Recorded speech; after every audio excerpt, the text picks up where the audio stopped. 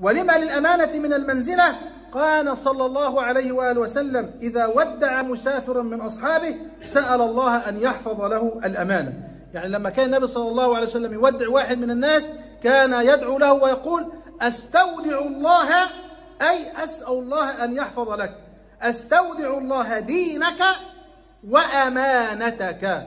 أستودع الله دينك وأمانتك وخواتيم عملك. أي يدعو له بحفظ الدين ويدعو له بالأمانة وتجنب الخيانة ويدعو له بحسن الخاتمة. وفي الحديث إشارة إلى أن موضع الأمانة من الناس كموضع الدين منهم وخص النبي تلك الخصال تحديدا بالحفظ في السفر. يعني لم يقل صلى الله عليه وسلم أسأل الله أن يوسع لك في رزقك أو أن يبارك لك في شيء وإنما قال أستودع الله دينك وأمانتك وخواتيم عملك. وقال علي بن أبي طالب رضي الله عنه أداء الأمانة مفتاح الرزق.